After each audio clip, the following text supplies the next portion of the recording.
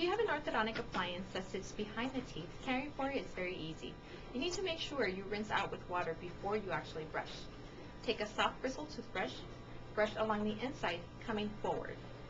You want to make sure you brush all sides of the appliance, both the left side and the right side.